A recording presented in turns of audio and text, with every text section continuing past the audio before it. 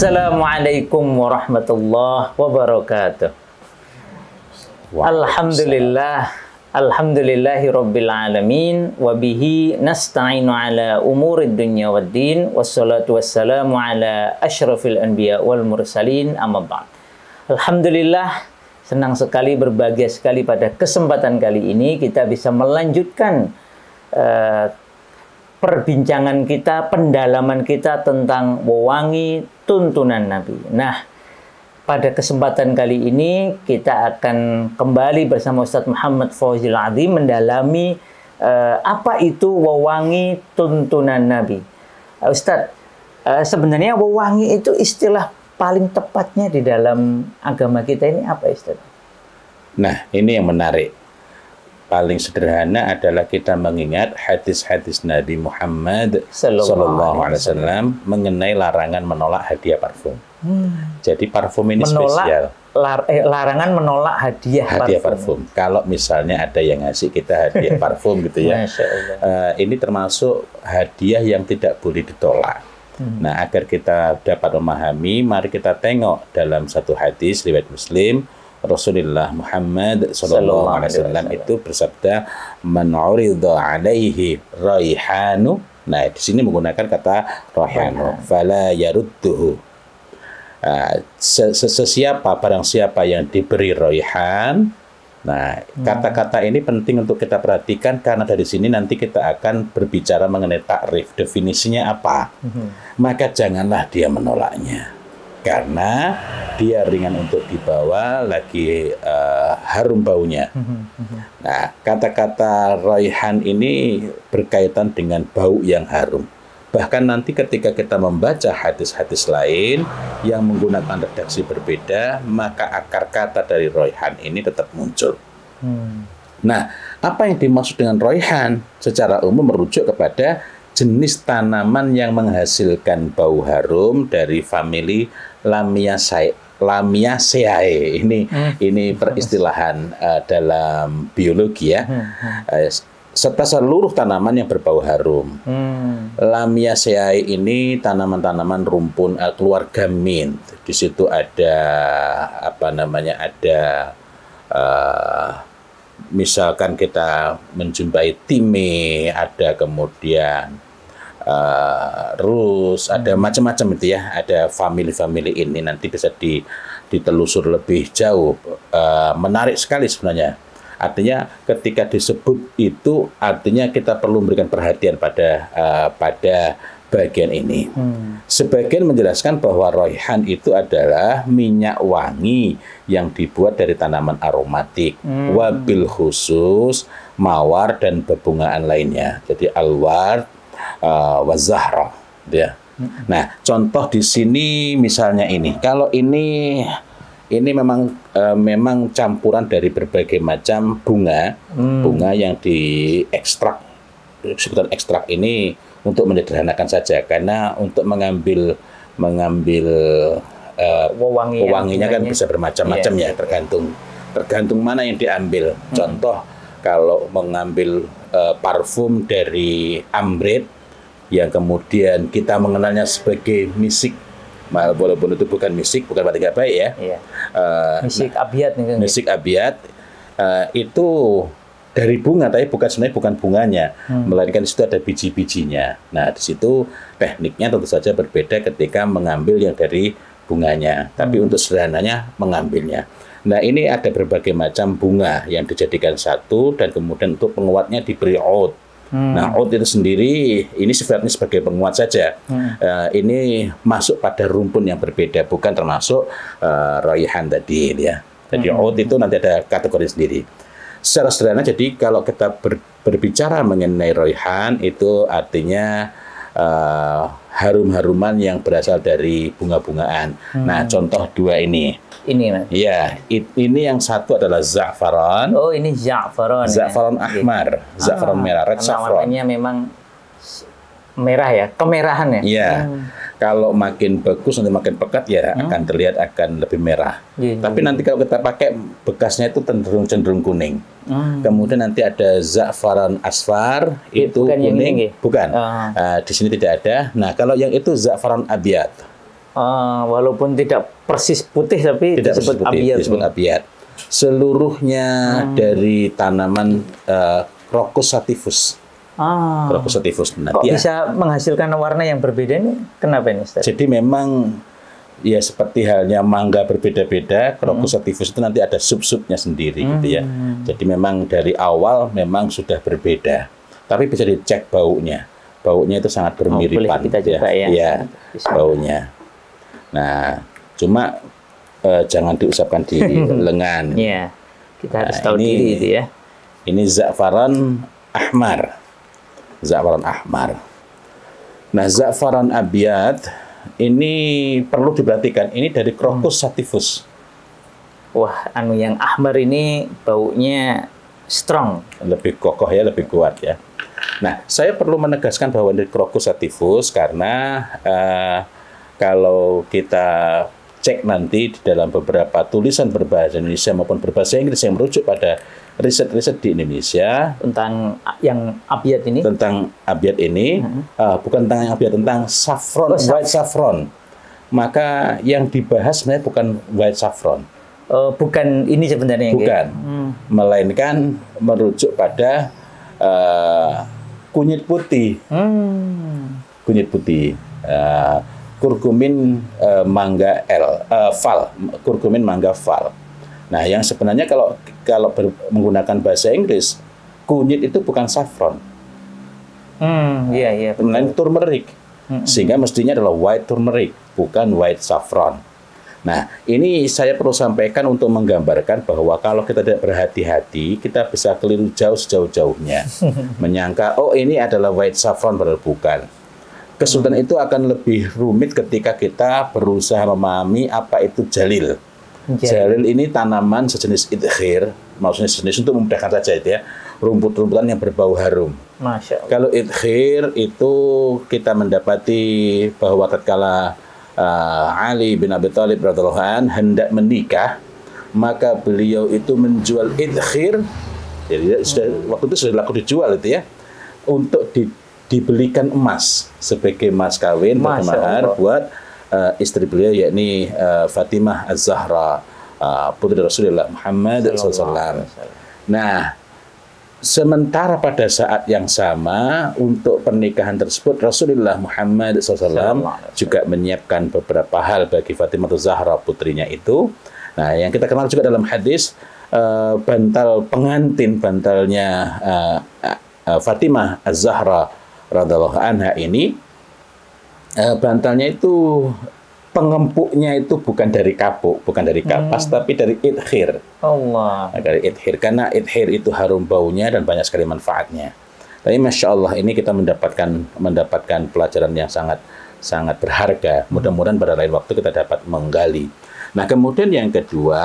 Uh, Parfum itu tadi dalam hadis riwayat Muslim menggunakan kata raihan, dalam hadis riwayat Ahmad dan Abu Dawud itu awal katanya juga sama yakni man uridu alaihi tib dari uh, hmm. itu tib uh, karena itu kita perlu memahami apa yang dimaksud dengan tib. Hmm. Hmm. Uh, tib itu pada asalnya tib adalah segala sesuatu yang memiliki bau harum, bersifat wangian.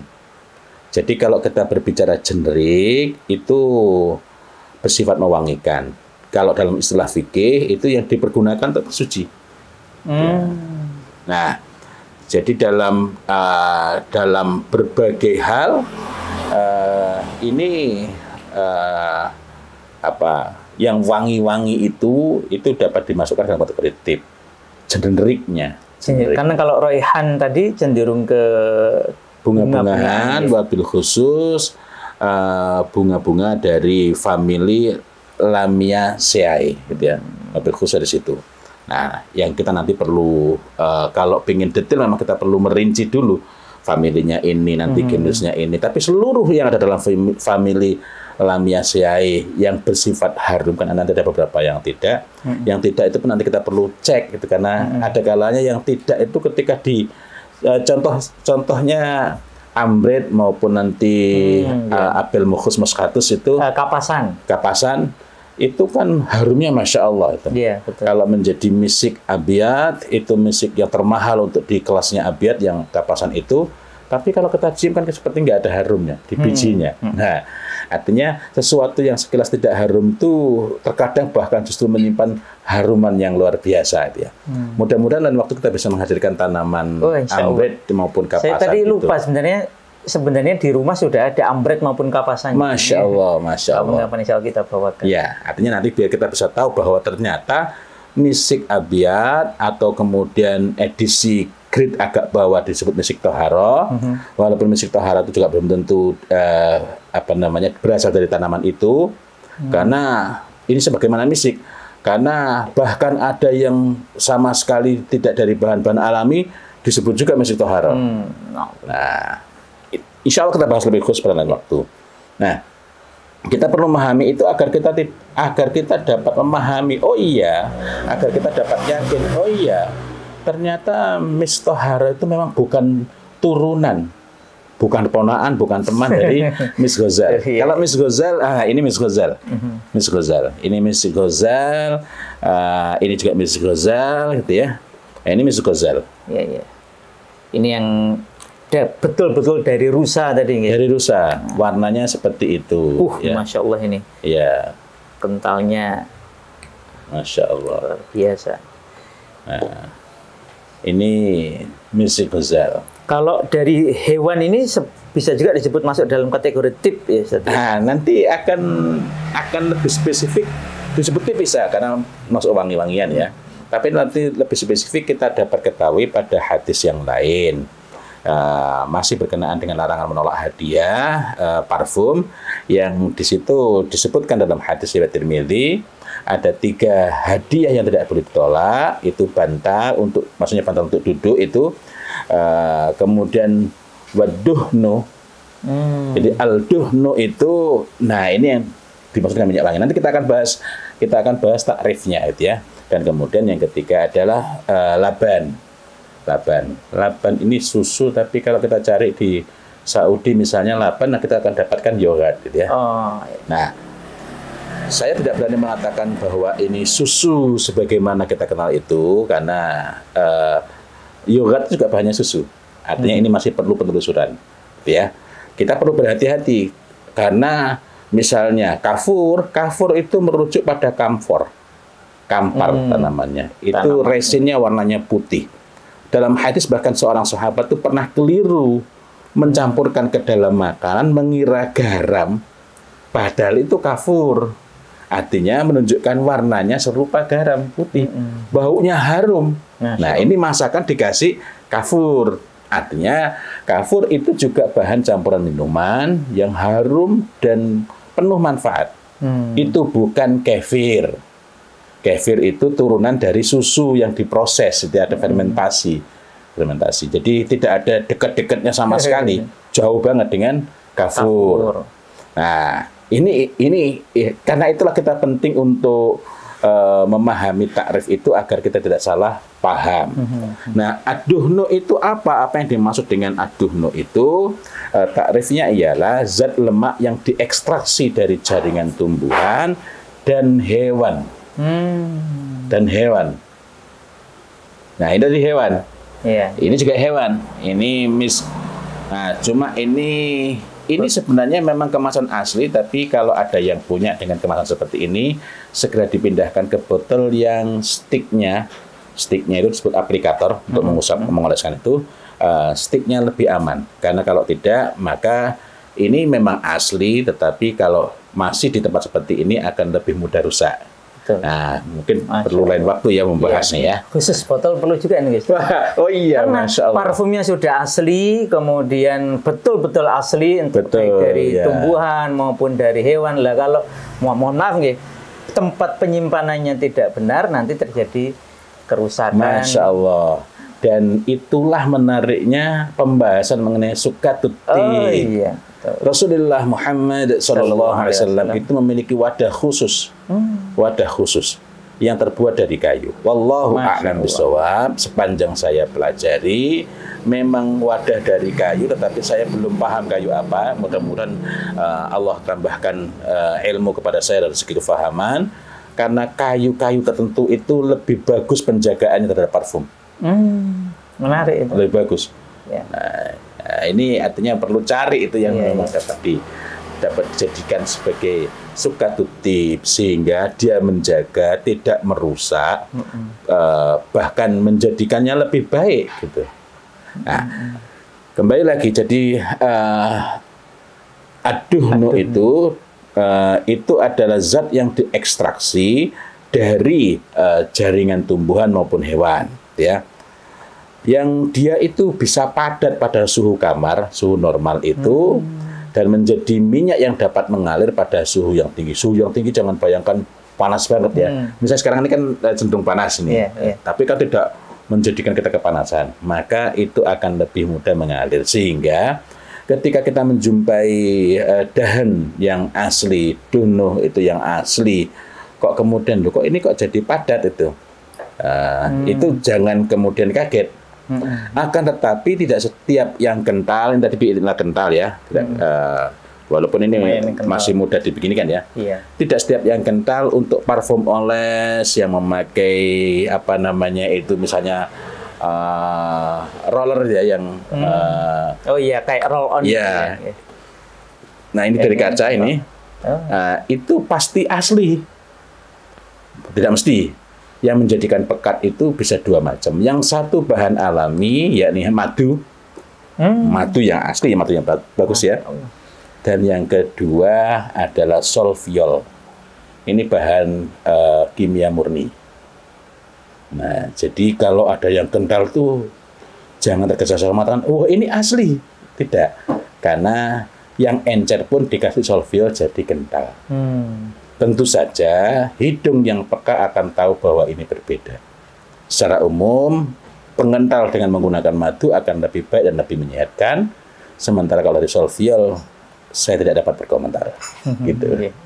Masya Allah. Alhamdulillah.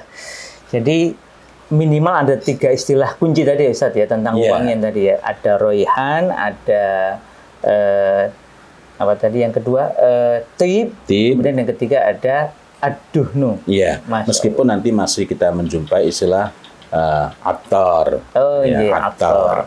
Nah, mudah-mudahan pada lain kesempatan kita bisa bincang lebih khusus mengenai istilah uh, aktor. Hal-hal yang berkenaan dengan peracikan, ini campur apa, ini campur apa, uh, lebih banyak berkaitan dengan aktor. Hmm. Wallahu a'lam Alhamdulillah, jazakallah khair Ustaz. Ini semoga menjadi uh, penambah kita mencintai apa yang dicintai oleh Rasulullah Shallallahu Alaihi Wasallam bahkan tadi sampai tidak boleh menolak kalau ada yang menghadiahi kita ini uh, apa itu tadi parfum ya dengan berbagai jenisnya tadi. Demikian semoga insya Allah ini bermanfaat. Semoga Allah Ta'ala berikan kita karunia makin mencintai apa-apa yang dicintai oleh Allah dan Rasulnya. Assalamualaikum warahmatullahi wabarakatuh. Waalaikumsalam warahmatullahi